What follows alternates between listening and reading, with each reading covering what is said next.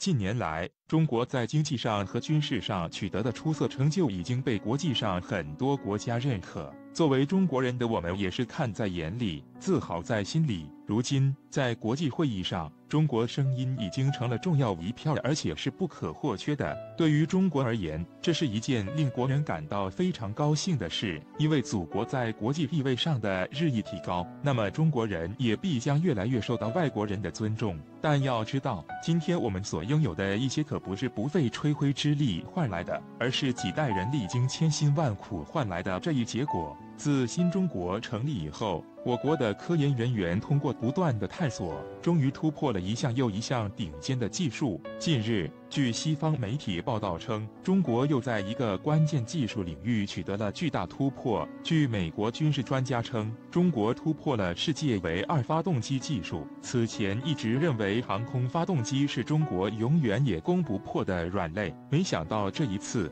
中国却解决了一直困扰的发动机旋转中出现的各种问题。而在这之之前，世界上能解决该难题的国家只有两个，一个是美国，另一个就是俄罗斯。看来这一次要加上中国了。作为世界上第三个掌握该技术的国家，我为祖国感到自豪。英国军事专家表示。中国解决了发动机旋转问题，那么接下来很可能就会研发新的重型大推力火箭。而且近年来，中国在芯片研发领域也取了突出成就，二者也将会为中国未来的航空航天事业带来质的飞跃。如今已经有很多国家纷纷向中国表达想要合作的意愿，希望中国能够出售该技术，但是美国却及时出来制止。美国媒体称。中国是一个非常喜欢分享的国家，但是这一次无论如何也不能对外出售该技术。我国军事专家分析称，美国如此急迫地禁止中国出售该技术，显然是怕欧洲国家一旦掌握了这项技术后，会动了他们的蛋糕。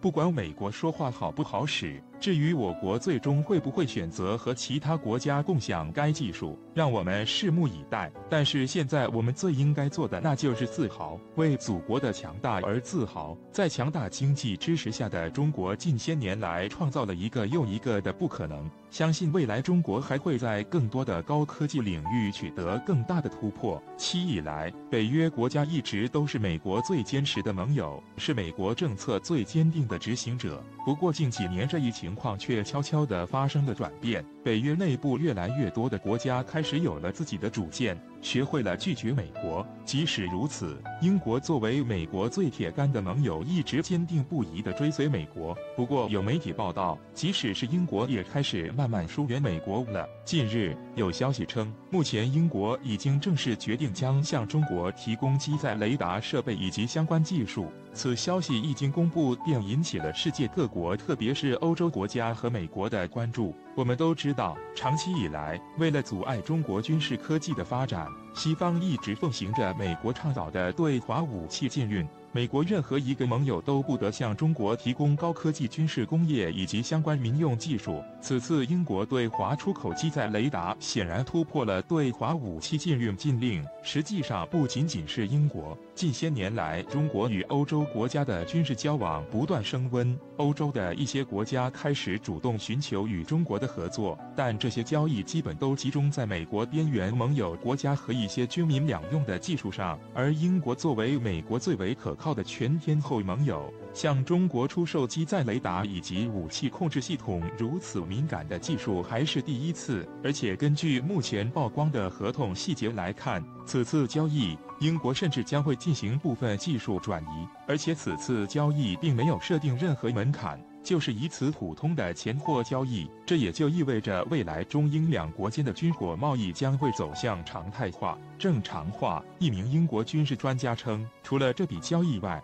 目前中英两国军工业正展开多方面的合作，其中航空发动机将成为两国未来合作重点。相信很多热爱军事的朋友都知道英国的罗罗公司，这是一家与美国通用、普惠公司并成为世界三大航空发动机巨头的公司，其航空发动机研制技术领先全球。目前，中俄联合研制的 CR 九百二十九就计划采用该公司的产品。不过，由于有美国的限制，罗罗公司现阶段主要服务于中国民用航空。近期，罗罗就正式与我国东航签署了一笔总额。高达一百零一亿美金的航空发动机维护协议。不过，随着中英机在雷达合作项目取得的突破，中英军工合作的大门已经打开。现在，很多西方国家都已经意识到对中国展开技术禁运有多么愚蠢，因为他们发现所谓的制裁并未能阻挡中国前进的步伐。中国在某些领域取得的成就，甚至已经超过欧美。例如，五代隐身战机、无人机、航母。驱逐舰等领域，中国都已经完成了对欧洲的赶超。现在很多欧洲国家都在考虑放弃武器禁运，因为在他们看来，如果再不尽快与中国合作出口先进技术，再过几年，欧洲技术将不再具备任何优势。乘着现在还有一点优势，多向中国出口，能赚一点是一点。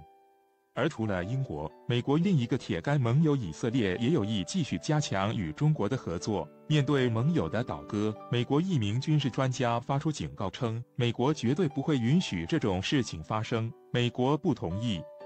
我们知道，人与人之间相处时，往往都会因为利益之间的纷争而闹出各种各样的矛盾；而在国家与国家之间的交往时，有时也是这样，会因为大大小小的摩擦而闹得不愉快。在亚洲就有这么一个国家，非常招人不待见。俄罗斯更是对其恨之入骨。我们对日本这个国家的了解应该还算比较深。虽然日本国家不大，但是不得不承认，他们的军事和经济确实很发达。但是由于日本总是充满着野心。动不动到处惹事，所以很多国家并不待见日本，尤其那些在二战时期深受日本伤害过的国家。很多国家开始效仿俄罗斯，用军舰轮番在日本家门口到处晃悠，这让日本表示强烈抗议。就连日本的邻国也开始骑到日本的头上了。上月中旬，韩国海军在海上举行了大规模军事演习。据韩国媒体报道称，此次韩国军方出动了大量的海军陆战队，其中还包括二十架飞机和六艘军舰参加此次演习。而此次演习的内容却让日本很反感，